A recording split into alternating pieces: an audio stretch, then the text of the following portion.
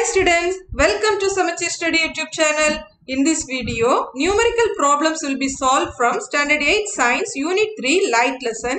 Total 3 numerical problems இருக்குது students. அதோட answers ரொம்ப சிம்பிளா பார்க்கலாம். First question, the radius of curvature of a spherical mirror is 25 cm. Find its focal length. இப்போ உங்களுக்கு given என்னங்கிறத first எழுதணும். Radius of curvature equal to 25 cm. இப்போ கால்குலேட் பண்ண வேண்டியது ஃபோக்கல் லெங்த் நமக்கு தெரிய வேண்டியது என்னன்னா இந்த ஃபோக்கல் லெங்த்தையும் ரேடியஸ் ஆஃப் கர்வேச்சரையும் கனெக்ட் பண்ணக்கூடிய ஃபார்முலா அது என்ன ஃபார்முலானா focal length equal to radius of curvature divided by two ஓகேவா ஸோ ரேடியஸ் ஆஃப் கர்வேச்சரை டைரக்டா நீங்க சப்ஸ்டியூட் பண்ணலாம். Twenty five divided by two இவ்வளவுதான் student simple problem twenty five by டூக்கு ஆன்சர் என்ன கிடைக்கும்? டுவெல் பாயிண்ட் ஃபைவ் சரியா? யூனிட் கண்டிப்பா எழுதணும். ரேடியஸ் ஆஃப் கர்வேச்சர்ல என்ன யூனிட் கொடுத்துருக்காங்க டுவெண்ட்டி ஃபைவ் சென்டிமீட்டர் அப்போ twenty five divided by two எவ்வளவு கிடைக்கும்? Twelve point five centimetre so answer focal length equal to twelve point five centimetre next question If two plane mirrors are inclined to each other at an angle of 45 degree, find the number of images formed. இதுக்கு given என்னன்னா angle of inclination அது தீட்டாங்கிற சிம்பிளில் கொடுப்போம். சரியா? So angle of inclination எவ்வளோ கொடுத்துருக்குறாங்க? Forty five degree ரெண்டு plane mirrors incline to each அதர்னா ஒன்றுக்கு ஒன்று ரெண்டு மிரர் எடுத்து அது வந்து ஃபார்ட்டி ஃபைவ் டிகிரியில் சரிஞ்சிருக்குன்னு சொல்லியிருக்கிறாங்க. அதான் இதோட மீனிங் அடுத்தது நம்பர் ஆஃப் இமேஜ் எத்தனை ஃபார்ம் ஆகும்? ரெண்டு மிரருக்கு இடையில எத்தனை இமேஜ் ஃபார்ம் ஆகும்னு கேட்டிருக்காங்க. இதுக்கு ஒரு ஃபார்முலா இருக்குது ஸ்டூடெண்ட்ஸ் இதுதான் அந்த ஃபார்முலா எத்தனை அந்த ரெண்டு பிளேன் மிரர் ஒன்றுக்கு ஒன்று சாஞ்சு இருக்கும்போது number of images formed equal to three sixty degree divided by angle of inclination அதாவது எத்தனைக்கு அந்த ரெண்டும் ஒன்னோடு ஒன்று சேர்ந்து இந்த இன்க்ளைன் ஆகுதோ அந்த ஆங்கிள் மைனஸ் ஒன் அப்போ நீங்கள் ஃபஸ்ட்டு என்ன செய்யணும்னா இந்த தீட்டாவை இதில் சப்ஸ்டியூட் பண்ணணும். Three sixty divided by forty five minus one அடுத்தது இந்த three sixty divided by forty ஃபைவை ஹோல் வேல்யூவாக கால்குலேட் பண்ணோம்னா தான் அதுல இருந்து அந்த வேல்யூவை மைனஸ் ஒன் பண்ணணும். சரியா? அதான் நெக்ஸ்ட் ஸ்டெப் கொடுத்துருக்குறேன். Three sixty divided by forty five calculate பண்ணுவோம். இதுக்கு ரொம்ப சிம்பிளா ஃபர்ஸ்ட் ஃபிஃப்த் டேபிள் யூஸ் பண்ணீங்கன்னா என்ன கிடைக்கும்?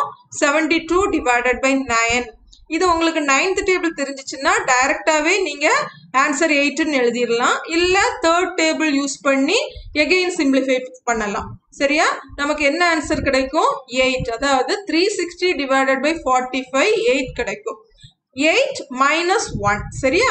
இந்த மொத்த வேல்யூவை கால்குலேட் பண்ணியாச்சு. அதை எயிட்னு சப்ஸ்டியூட் பண்ணிட்டோம். மைனஸ் ஒன் அப்படின்னா எத்தனை இமேஜஸ் செவன் இமேஜஸ் அப்ப ஆன்சர் எப்படி எழுதுவீங்க?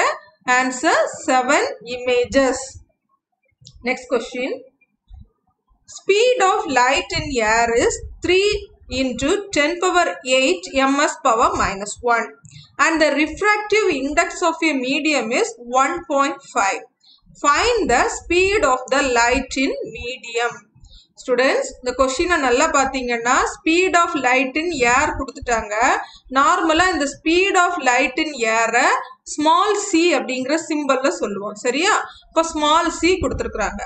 அடுத்தது refractive index of the medium refractive இண்டெக்ஸ்க்கு என்ன சிம்பிள் கொடுப்போம்? மியூ இதுதான் இந்த simple that is equal to one point five so சியும் மியூவும் கிவன் கண்டுபிடிக்க வேண்டியது என்னது? Speed of light in medium நார்மலா இந்த ஸ்பீட் ஆஃப் லைட் இன் மீடியத்துக்கு என்ன சிம்பிள் கொடுப்போம்னா ஸ்மால் விங்கிற சிம்பிள் சரியா?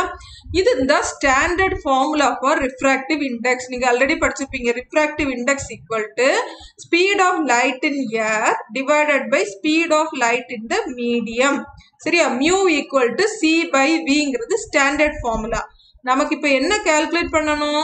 வி கால்குலேட் பண்ணணும். ஸோ இந்த ஃபார்முலாவை ரீஅரேஞ்ச் பண்ணி எழுதுறதுல தான் இந்த ப்ராப்ளம் நீங்கள் சால்வ் பண்ண முடியும். சரியா? எப்படி ரீஅரேஞ்ச் பண்ணி எழுத போகிறோம் இதில் தேவையானது டினாமினேட்டரில் இருக்குது. சரியா? ஸோ இதை ஈக்குவலுக்கு ஆப்போசிட் சைடில் கொண்டு போகும்போது வி வந்து இங்கே வரும். மல்டிப்ளிகேஷனில் வரும்.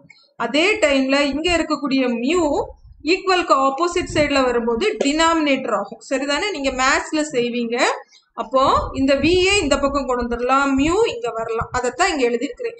So V equal to C disturb ஆகாது. ஏன்னா இது வந்து நியூமரேட்டரில் இருக்கிற வேல்யூ அப்படியே தான் இருக்கும். V equal to C divided by mu சரி?